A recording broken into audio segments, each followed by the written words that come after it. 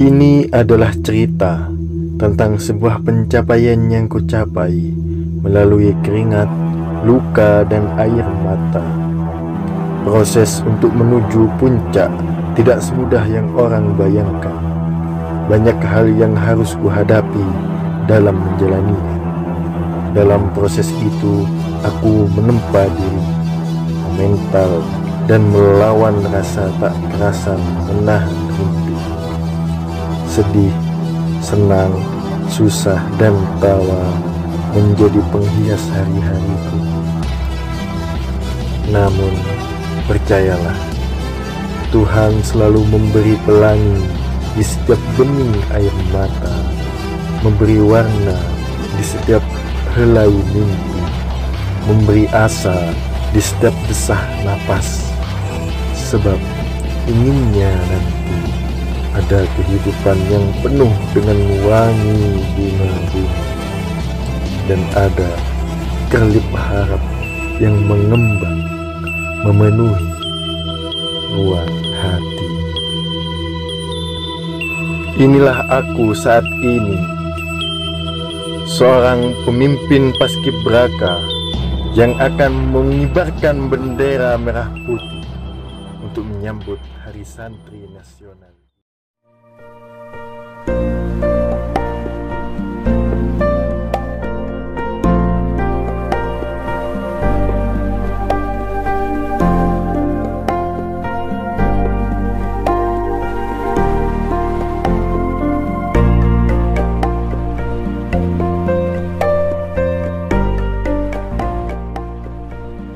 Assalamualaikum warahmatullahi wabarakatuh. Selamat Hari Santri 22 Oktober 2020 Hari Santri adalah di mana kita wajib bersyukur untuk memperingati jasa-jasa para ulama, jasa-jasa para pejuang di dalam mempertahankan kemerdekaan Republik Indonesia lewat revolusi jihad yang telah ditetapkan oleh Hadratus Syekh Haji Hashim Ash'ari. Sehingga di hari santri ini kita wajib bersyukur karena kita masih bisa menikmati anugerah iman, Islam, dan perlu kita untuk melanjutkan perjuangan-perjuangan para ulama. Di tanah yang sama kita pada saat ini masih bisa menghirup udara segar dan di tanah yang sama pula kita masih diberi kesempatan untuk melanjutkan perjuangan-perjuangan para ulama. Maka dari itu, seyogjanya kita semua sebagai santri ini harus berupaya untuk menjadi orang yang berguna. Karena apa? Karena nilai luhur seorang santri ini tidak akan pernah berhenti ketika mereka berhenti untuk peduli sehebat apa pun santri, setinggi apa pun ilmunya, sekaya apa pun hartanya, setinggi apa pun pangkatnya, maka mereka tidak akan berguna manakala mereka berhenti untuk menjadi peduli. Maka dari itu, mari kita wujudkan dalam momen yang sangat istimewa ini, kita sebagai santri, kita diberi kesempatan untuk berjuang mewujudkan menjadi Indonesia yang bermartabat, berbudaya dengan mau melestarikan budaya-budaya asli Nusantara, budaya mengaji, budaya dan yang lainnya. Maka dari itu di hari santri ini kami semua bersyukur dan ikut bahagia dan akan berupaya semaksimal mungkin untuk bagaimana bisa mengikuti, meneruskan jejak-jejak, meneruskan ajaran-ajaran yang telah dibawa para ulama, yang yang telah dibawa oleh para kiai-kiai. Maka dari itu kita sebagai santri maka nyantri, ngaji dan nuri-nuri budaya. Wassalamualaikum warahmatullahi wabarakatuh.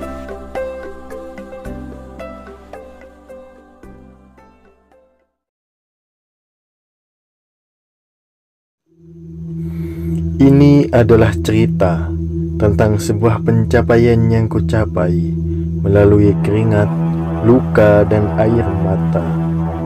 Proses untuk menuju puncak tidak semudah yang orang bayangkan.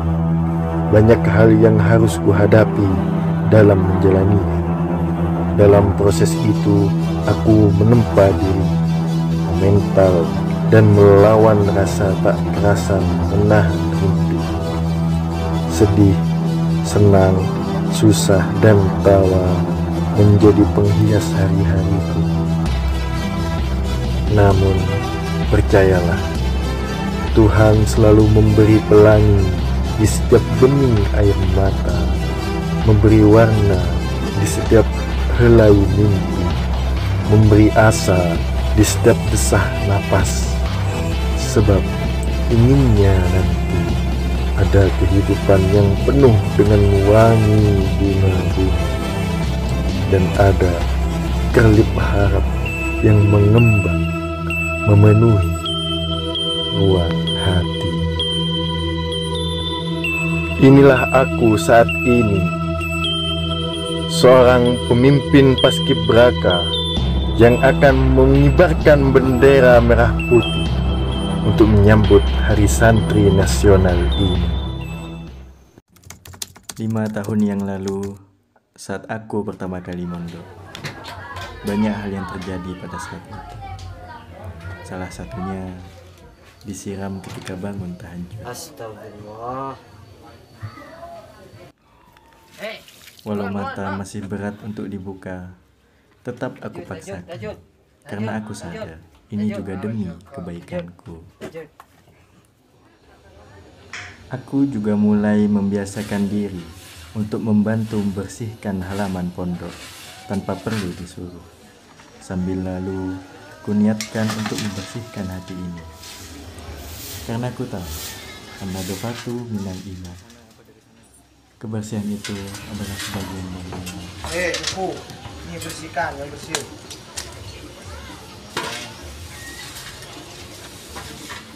Meski ada saja orang-orang yang tak suka dengan hal itu.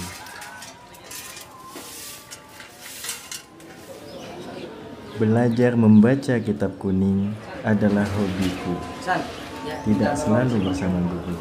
Bersama teman pun, aku tak malu untuk minta disimakkan. Seringkali aku minta tolong pada teman-teman yang ada di sekitarku. Jemaati. Minta tolong untuk sekedar mendengarkan aku membaca kitab. Membetulkan jika ada yang salah. Bisa.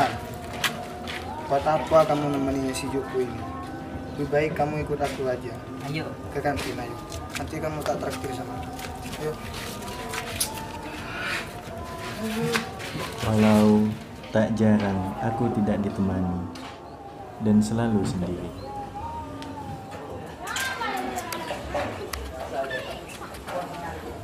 Aku coba untuk menghibur diri dengan bermain gamelan. Hitung-hitung ikut melestarikan budaya kita sendiri. Apaan nih main asal-asalan kayak gini? Meskipun lagi-lagi aku dihina dan tidak dihargai.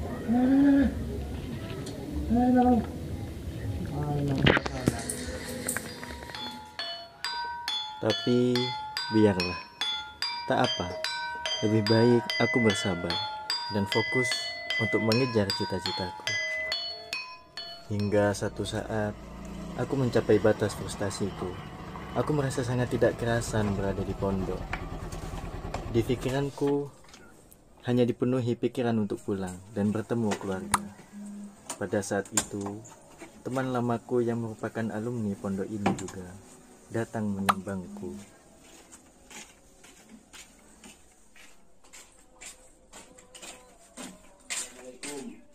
Waalaikumsalam. Samian, Kang. Iya, iya.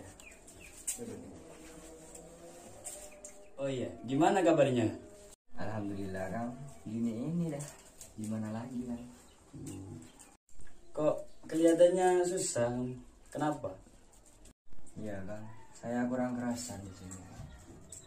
Gimana ini Kang? Oh, kalau kayak gitu mending sampean ikut saya. Ke mana? Ya kerja. Kerja apa ya? Ya kerja lah, yang penting halal, bisa menghasilkan uang. Daripada kamu di sini ngapain? Ngaji, tidur, makan. Itu toh setiap hari. Ya juga ya. Kita coba. Aku ditawari untuk bekerja bersamanya. Tawarannya bagus juga. Akan aku coba untuk pamit ke ketua pondokku. Semoga saja aku diberi untuk banyak. Assalamualaikum.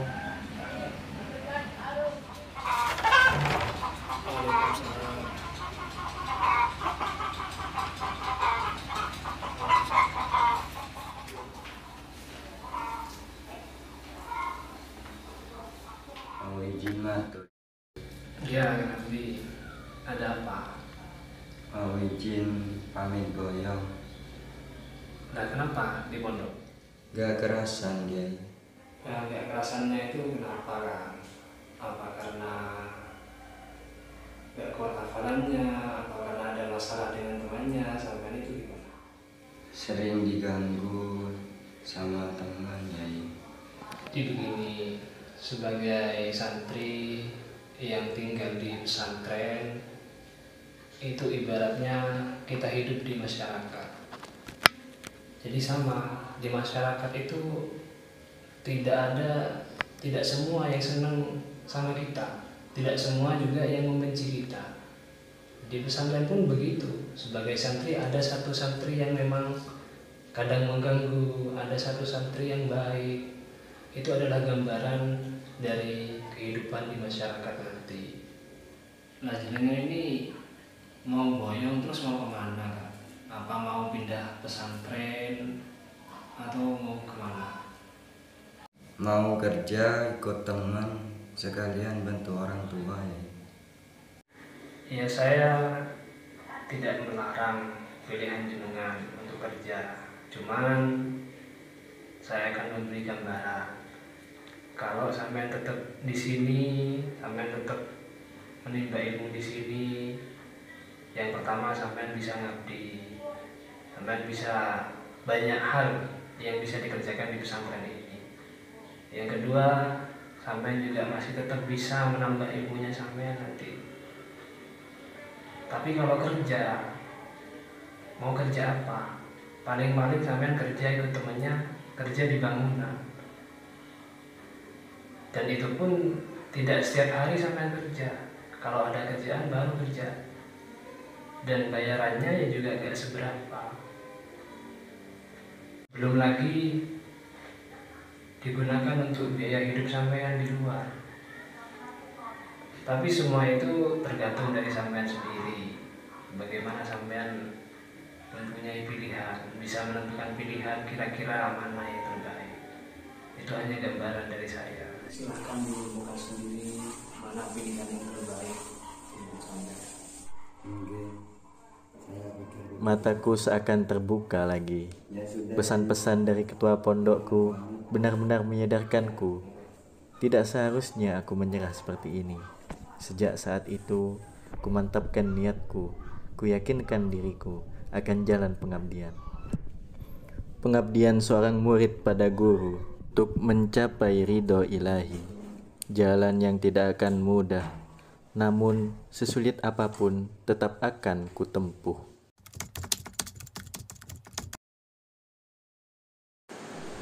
Sekarang terbayarkan sudah. Dengan kesabaran, aku berhasil sampai di titik ini. Sebuah pencapaian yang membanggakan. Meski proses itu masih akan terus berlangsung, tetap akan kutempuh dengan semangat juang yang tinggi demi mewujudkan cita-citaku kelak. Memang bukan sekarang akan kunikmati manisnya buah perjuangan itu, tapi kelak aku yakin pasti akan indah pada waktunya.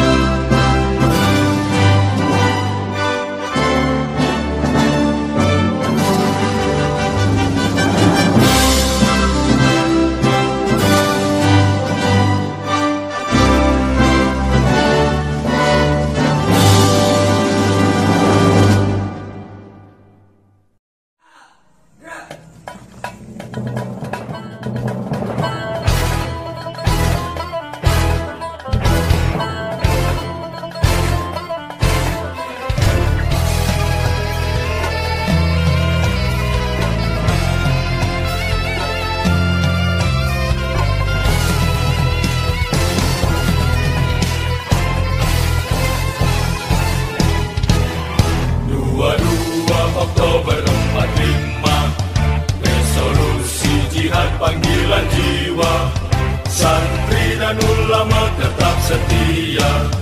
Berkorban pertahankan Indonesia. Saat ini kita telah berdeka, Mari teruskan perjuangan ulama.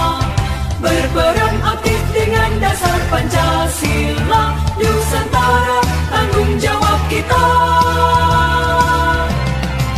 Hari santri, hari santri, hari santri santri murni cinta pada negeri.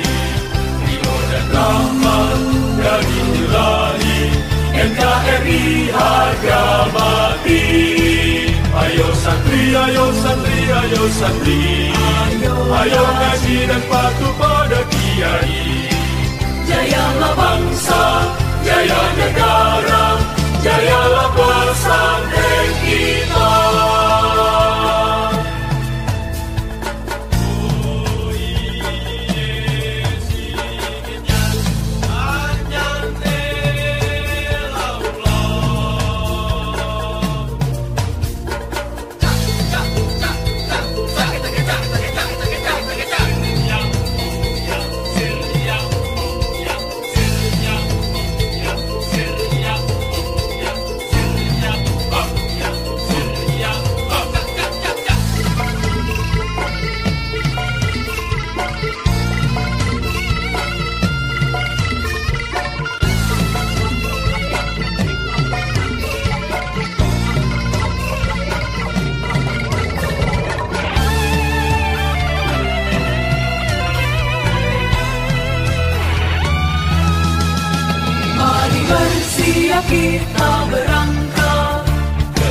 Pesantren dengan penuh semangat.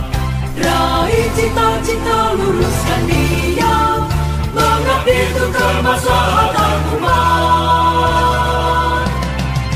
Hari santri, hari santri, hari santri. Hari santri undi cinta pada negeri. Ridho dan rahmat dari ilahi NKRI harga mati Ayo santri, ayo santri, ayo santri Ayo ngaji dan patuh pada kiai Jayalah bangsa, jaya